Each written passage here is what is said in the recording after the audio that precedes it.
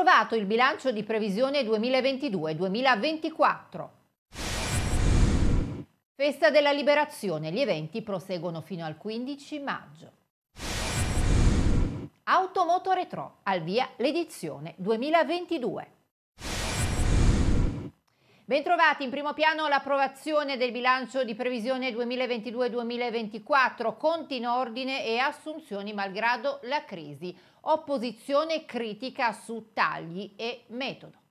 Il Consiglio regionale ha approvato a maggioranza con 27 voti a favore e 15 contrari il bilancio di previsione finanziaria 2022-2024 di DL 181 dopo una maratona d'aula e con l'esame di oltre 1400 emendamenti. Il documento finanziario pareggia a 19 miliardi, di cui 9 di spese sanitarie. Tra i vari capitoli sono previsti ulteriori 22 milioni di bonus alle imprese, 20 milioni per l'edilizia popolare, 100 milioni per l'agricoltura, 42 32 milioni per la cultura e 15 milioni per la promozione turistica. Tra i settori a cui sono state destinate risorse sono previsti 361 milioni per lavoro e formazione, 85 milioni per istruzione e diritto allo studio, 181 milioni per le politiche sociali, 187 milioni per tutela del territorio e ambiente. In ambito sanitario 12 milioni sono destinati al Fondo regionale per la disabilità, 9,5 per l'assistenza dei pazienti ex psichiatrici. Per gli extralea sono previsti 45 45 milioni. Per sviluppo economico e competitività sono previsti 189 milioni, per trasporto e diritto alla mobilità 800 milioni, per politiche giovanili, sport e tempo libero 25 milioni.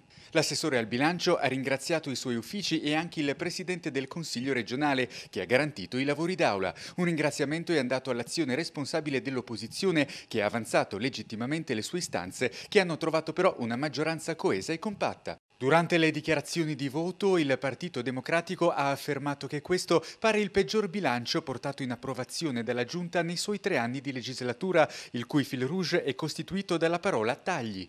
Per il capogruppo Lega invece si tratta di un bilancio serio di equilibrio, previste oltre mille assunzioni in sanità, tutte con fondi regionali senza aiuto dello Stato. Il Movimento 5 Stelle ha parlato di un bilancio lacrime e sangue per i lavoratori della sanità che non saranno assunti o per gli studenti universitari che andranno in altre regioni a studiare. Il Movimento 4 Ottobre ha criticato il ritardo nel portare l'atto in commissione in aula, poi il tentativo di accelerare per non sforare troppo i tempi. Forza Italia ha ricordato che oggi è impensabile fare nuovi debiti. Con Finpiemonte a inizio mandato si è dato vita alle riparti Piemonte, una scelta coraggiosa per aiutare imprese in crisi. Si può oggi sottoscrivere il nuovo contratto decennale con le ferrovie, con 150 milioni stanziati e una trentina di treni nuovi per il servizio metropolitano e non solo. Per Fratelli d'Italia si garantisce un bilancio che presidia i settori strategici, malgrado le enormi difficoltà causate dalla pandemia. Approvati anche 15 atti di indirizzo collegati al bilancio di previsione finanziario 2022-2024 dei 48 presentati inizialmente, alcuni dei quali ritirati prima del voto. Gli ordini del giorno, a cui l'Aula ha dato il via libera a firma Moderati, Partito Democratico e Movimento 5 Stelle, riguardano diversi ambiti. Sanità e welfare, istruzione e formazione professionale, ambiente, attività produttive e cultura. È visitabile fino a domenica 1 maggio al Lingotto di Torino Automoto Retro, la cui presentazione si è tenuta a Palazzo Lascari.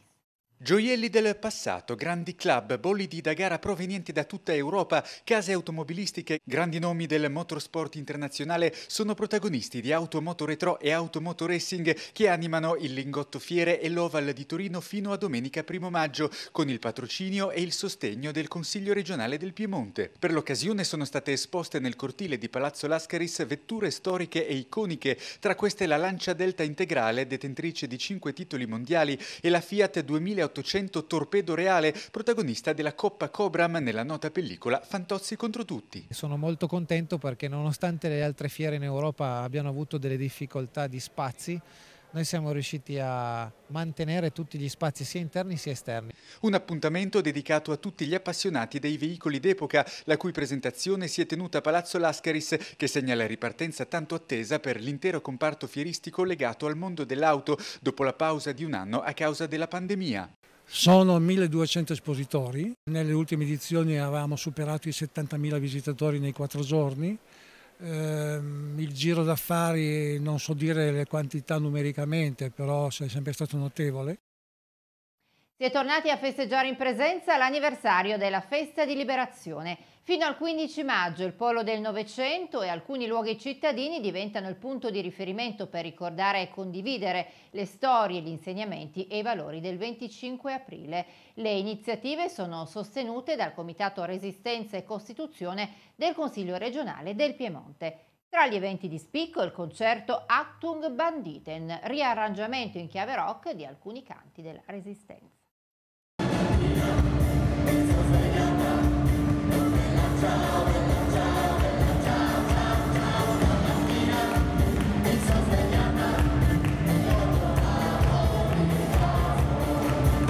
Un'occasione molto bella per noi come ogni anno ospitare qui al Polo del Novecento alcune delle celebrazioni del 25 aprile. È un programma lungo e impegnativo che il Polo insieme ai suoi enti porta avanti Colgo l'occasione per ringraziare il Comitato Resistenza e Costituzione della Regione Piemonte che ci ha permesso con il suo sostegno di realizzare le diverse iniziative che comprendono anche delle mostre, le visite guidate al Museo Diffuso della Resistenza e una serie di incontri ed eventi. Oggi in particolare ospitiamo un concerto molto atteso degli Actum Bandite.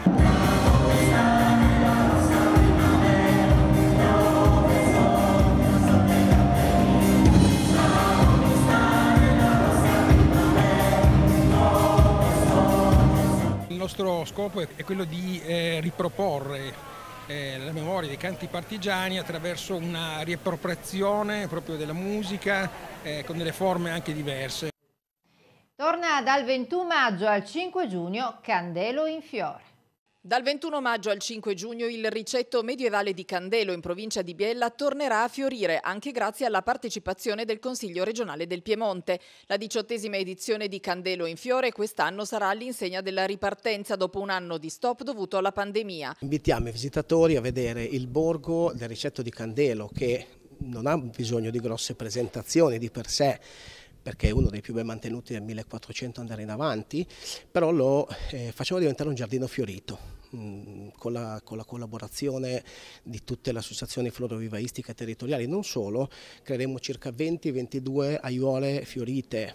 Oltre alla tradizionale esposizione di giardini fioriti all'interno delle stradine dell'antico borgo medievale che ogni anno attira 30.000 visitatori dall'Italia e dall'estero, saranno moltissime le iniziative collaterali che animeranno le serate di Candelo. Dall'arte della Fondazione Pistoletto a Slow Food, dall'economia circolare a Franco Collè, plurivincitore di Ultra Trail, al meteorologo Luca Mercalli, fino a Stefano Mancuso, botanico e accademico di Firenze, per concludere con l'alpinista Simone Moro, appena tornato dalle alle cime del Nepal. Quest'anno vi portiamo nei nostri territori montani perché l'ONU quest'anno ha voluto dedicare l'anno alla salvaguardia delle zone montane. Noi abbiamo preso ispirazione da questo perché Biella è stata città alpina l'anno scorso. Tramite tutte le nostre piante, le nostre fioriture, tutti i prodotti dei nostri florovivaisti vi porteremo alla scoperta dei territori montani. Tutte le informazioni sulla manifestazione e le modalità di partecipazione sono reperibili sul sito candeloeventi.it.